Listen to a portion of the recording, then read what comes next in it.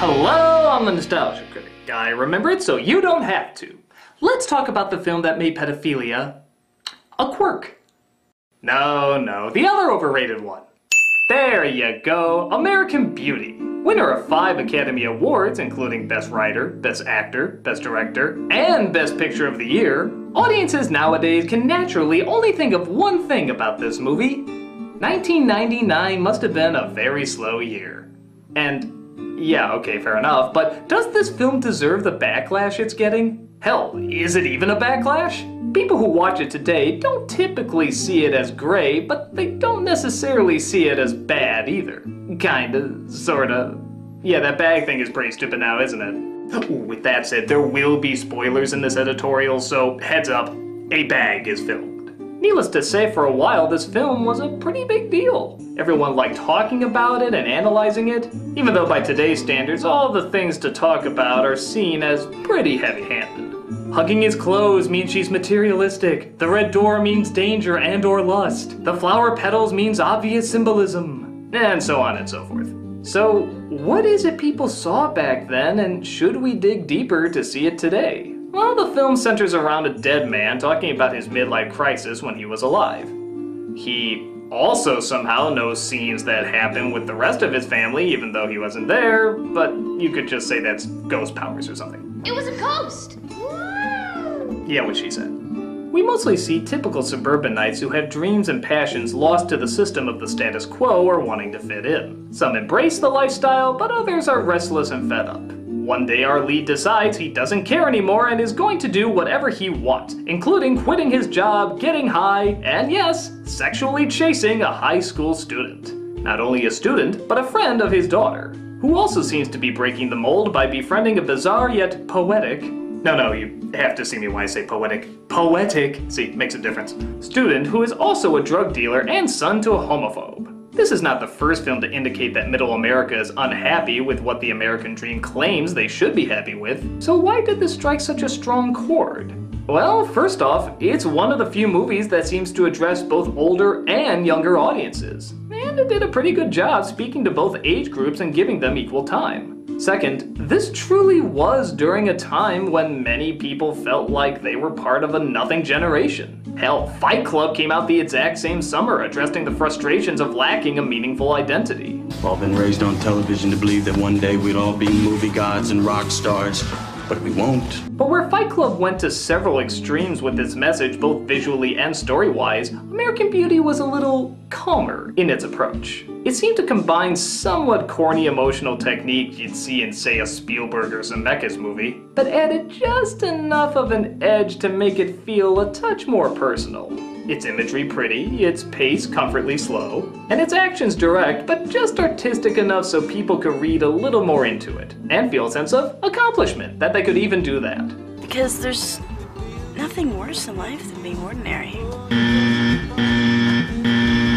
You know, it's kind of like that person who thinks they're into anime because they saw Spirited Away. It's a good start, but that's not exactly knowing anime. There's a bit more to it. But back then, it was a nice feeling when people felt they could be a little artsy every once in a while. Even if it was very little compared to other art house films. According to her, I'm too focused on my career. As, as if being driven to succeed is some sort of a character flaw. Because of this, people were a lot more accepting of a man who is openly pursuing an underage girl. They recognize him as doing wrong, but at the same time sympathize with what led him to this state. Think about that. How many mainstream big hit films star a pedophile as your identifiable hero? And to the character's credit, he doesn't go through with it. He does wake up and realize he was doing something that he should have no part of. But oddly enough, that's not what most people have issues with in the movie. The biggest argument a lot of folks have is that it's pretentious. Case in point, the kid who films everything and sees beauty everywhere, especially claiming that a dancing bag is the most beautiful thing he saw. Sometimes there's so much beauty in the world. I feel like I can't take it. Yeah, we bought it in the film because there's nice music and an obviously prepared speech. But if it happened in real life, you'd probably be afraid of this guy. Hell, this could just as easily be seen in a horror movie. Just change the music up a bit. Like a little kid begging me to play with it. You can almost hear it. I need to remember. Sometimes there's so much beauty in the world. I feel like I can't take it. The narration seems a little full of itself too, as if the film has all the answers with how to make your life happy. You just don't see it yet. And I can't feel anything but gratitude for every single moment of my stupid little life. You have no idea what I'm talking about, I'm sure. But don't worry, you will someday. That's a pretty pompous thing to boast about when you get down to it. But at the same time, you get the feeling the film means well. It doesn't indicate there's necessarily good guys or bad guys, they're just people trying to find their way. So really, it doesn't seem too bad, but nevertheless, there's a reason so many people have labeled this film as uber preachy. Where many today see the subject and tone as more middle of the road, at the time, it was seen as kind of daring. Or at least, daring enough. Enough for white suburban adults and high schoolers to have a comforting outlet for their growing insecurities in a not particularly hostile environment. So, should it be ignored? Is it just a forgettable product of the times? Well, in my opinion, yes and no. It is a product of the times, but not one that should necessarily be forgotten. Where something like Fight Club keeps coming back generation after generation because it takes chances with its clever extremes, and what American elements would never truly go away, American Beauty is distinctly what middle class America was thinking and feeling at that time. Since then, we've had events like 9 11, the Iraq War, the economic crash, and of course, the technological boom of online media and portable devices. There's probably much more options now more than ever for creating a distinct identity. It's not even that big an issue anymore. That is, if there are other films we'll probably tackle in the near future, but that's another issue.